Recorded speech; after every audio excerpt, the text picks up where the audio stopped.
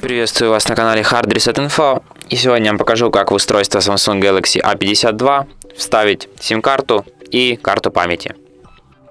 Для этой операции вам пригодится такого рода инструмент, для того, чтобы изъять слот под сим-карту и карту памяти, который находится у нас здесь, на верхнем ребре телефона. Что мы делаем? Вставляем э, инструмент в дырку возле слота, достаем слот нашими голыми руками и затем сюда по форме вставляем симку и сюда карту памяти.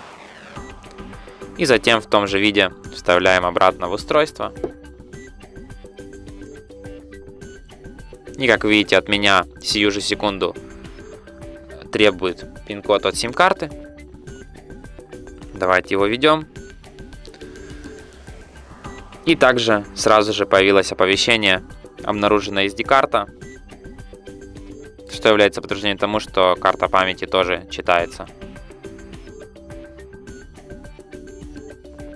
И на этом все. Спасибо за просмотр. Подписывайтесь, ставьте лайки. И пока.